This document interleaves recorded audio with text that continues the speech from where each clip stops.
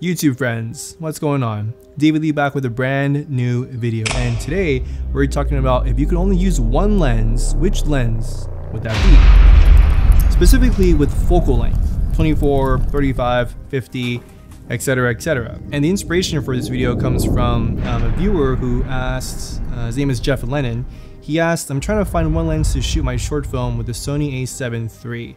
The majority of the film is inside a hospital-like environment with no electricity there is natural light here and there, but the basement is pitch dark, and the girl in the film only have a flashlight. What lens could I shoot this film with that has great low light performance and wide enough to capture all I need for under a hundred, ooh, for under one thousand dollars? That's a very, very good question. Um, but for this video, let's take it into the context of not necessarily that same environment, but if there was one lens you could use that could give you good low light performance, uh, that was, you know, wide enough uh, to get you different focal lengths, what lens could that be? Recently, I DP'd a short film that's going to be on the uh, local film festivals here in Los Angeles in the near future, um, but the film was entirely shot in a uh, office space. So out of the three-ish locations that we used, uh, one was a pretty tight office, the other one was a little bit of a bigger office, and the other one was like a small conference room type setting but I use the SLR Magic 50mm f1.1 for every shot. Now you might be saying to yourself, 50 millimeters, like that's, it's, it's too compressed, right? If you have the space, right, to physically back up, then no, it's not. You may not be getting everything in perspective. Uh, say if you're using like a full frame 24 millimeters compared to a full frame 50 millimeter, right? Because the overall depth of field and the compression is more with the 50. However, like I said again, if you have the space to back up, you can get a wide shot. It doesn't have to necessarily be a 24 or an 18 or a 16 millimeter to have a wide shot, but it still has the same effect. I like the 50 or anything between 40 and 50 because the closer you get, you still have enough compression where um, it denotes more of a importance right of the shot. That could be um, someone's eye light, that could be like a low 45 shot going up, you can get a straight beeline shot, uh, two people talking, you can get a 50-50 shot.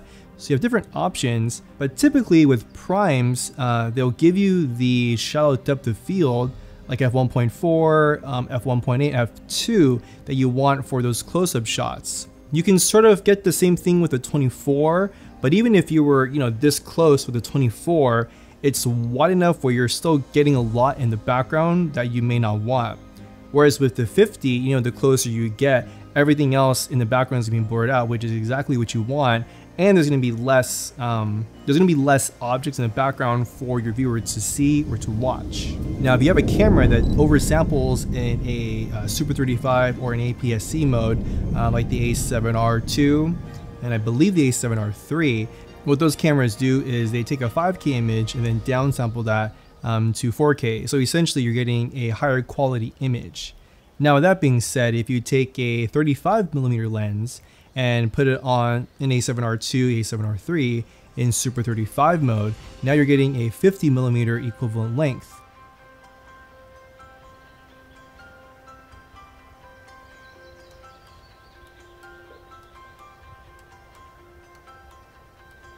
And on top of that, if you go back into full frame mode, you have that 35 millimeter length, uh, which will give you a wider shot if you physically can't back up. And you guys should definitely take a look at the SLR Magic lenses if you shoot um, Sony E-mounts. They have their uh, original E-mount cine lenses in different focal lengths. So they have a 35 and they have a 50. If you have those two on a, a Sony camera with Super 35 mode, then you're pretty much set and both of those lenses will probably run you less than $600 uh, US. They also have a new range of their micro primes coming out, which are kind of like uh, Rokinon has their Xeen lenses, which are the cinema lenses, and then they have the Rokinon uh, DS lenses, which are kind of like a smaller version of the Xeen lenses. So SLR Magic is doing the same thing. They have the micro primes, which are smaller versions, more compact versions of their Cinema APO line lenses. So, what lens do you use if you can only pick one? For me, it would be a 50. However, if you're in a situation where you're going to a location, um, hopefully you can scout the location beforehand, and you feel that a 50 would just be, you know, it's just too tight. you need something a little bit wider, but you can also get the same um, depth of field if you were closer, then something like a 35 millimeter would be perfect. And if you're like our friend who's shooting um, basement with no light, um, then yeah. If you like the video, like the video, leave a comment down below. Let me know what your favorite lens to use with is, and especially if you only had one option. Uh, subscribe to my YouTube channel if you haven't already, just so you're notified of new content coming out. And remember, friends, every day you have an opportunity to create your experience and to write and tell your own story. My name is David Lee, and I'll catch you guys in the next video.